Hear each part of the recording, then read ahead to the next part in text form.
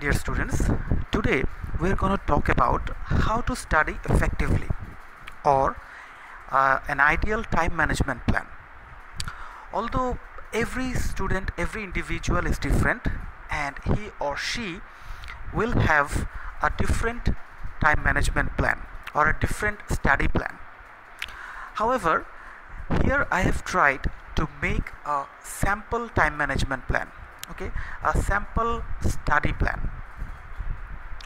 How it will help you? It will if you uh, put this one in front of you and uh, you see all these things here you can make your own individual study plan by changing a few things here. So in this way i think it will be useful to you. So first of all i want to welcome and congratulate you because you have traveled miles what do I mean by this is first of all you have completed your secondary uh, school exam then you have completed your college your higher secondary level exam and then you have chosen medical education as your prime education as your career education. So i congratulate you for that. And then after entering into the medical college you have completed the first prof and then the second prof. And now you are in your fourth year of medical education. So you have traveled already a few miles but you have to travel a lot more than this. So you have to prepare yourself uh, effectively so that you can achieve your career goal uh, easily or i would say you can achieve your career goal within time okay. So I would say that you should believe in yourself that just look back and see that you have achieved a lot of things until now. So you should have the belief in yourself that you can achieve a lot more things in the future as well. And then remain disciplined throughout your career. This is an important thing. You have to have self discipline what do i mean by this? Suppose uh, after a very hot and sunny day there comes a night with rain and you feel uh, like sleepy you feel like writing some poetry uh, and you don't feel like studying anything. So that means uh, you are not disciplined enough. If you study at that night uh, as well then you are disciplined.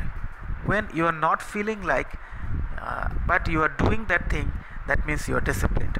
So you have to be disciplined throughout your career. And do your job honestly.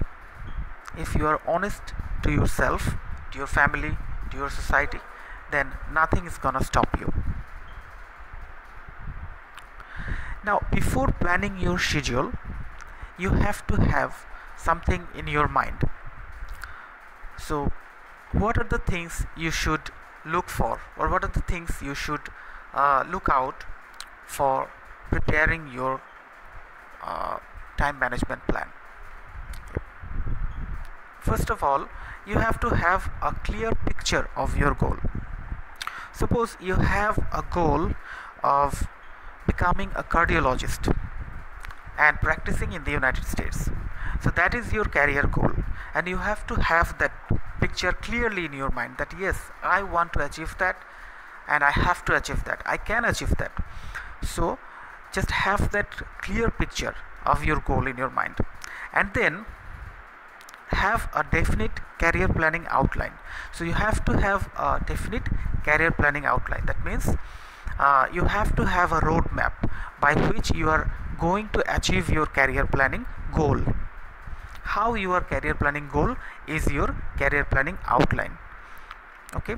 Then make your daily plans according to your goal. Because now you have a goal then you have set your roadmap.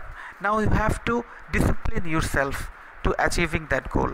You have to do everything needed right from now to achieve your goal. Suppose you, your uh, prime goal uh, is to become a cardiologist uh, in the United States. So what should you do to achieve that goal? Divide that uh, plan into different steps. So what can you do now right from now to achieve that bigger goal? Just to achieve a smaller goal. Because your bigger goal is the summation of those smaller goals okay? And the last thing is prepare your mind to do some uncomfortable work. Because if you want to achieve a big goal and high, a high achievement then you should you should have to do or you have to do some uncomfortable work some hard works okay? That you have to push yourself from your comfort zone. Now let's go to the details of your time management plan or your daily plan what should you do? Or what should you do ideally? So suppose in the morning uh, you have to wake up early in the morning. And this is a very very important tip.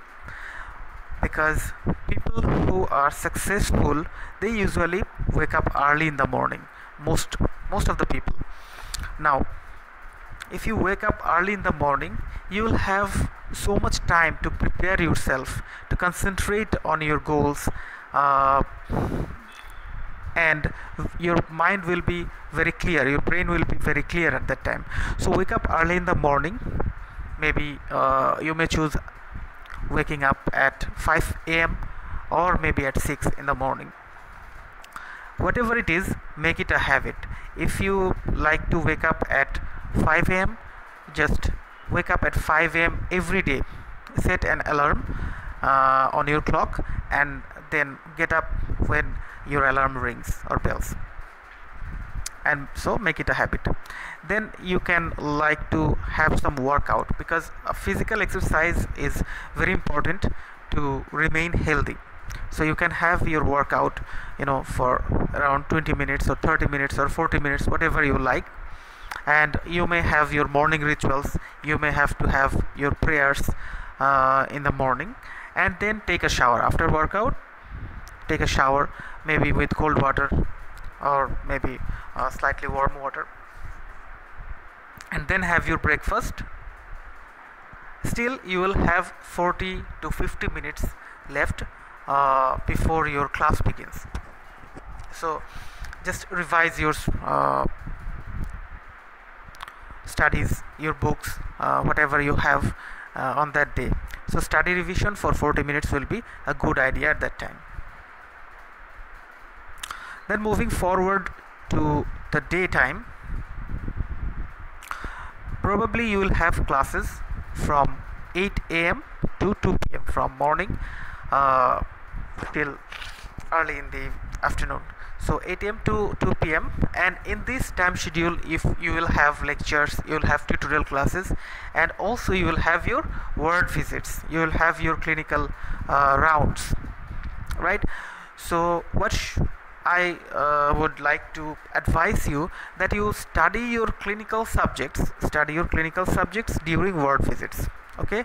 Because you have to study your main subjects. That means pathology pharmacology microbiology uh, these are your main subjects and your ward subjects. You will have these uh, subjects later on uh, in your final year. So your ward visits should in, uh, include your studies as well. That means you should study your clinical subjects within that time within that time of ward visit. Okay? You should not uh, keep your studies for studying in the evening or at night or when you are supposed to study pharmacology or pathology or microbiology. Okay? Now uh, I want to give you an example. Suppose you are studying finger clubbing uh, in your ward visits. So your teacher has demonstrated what is uh, finger clubbing.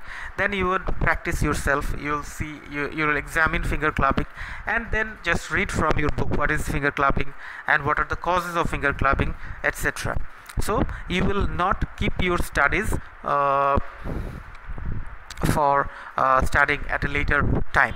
Okay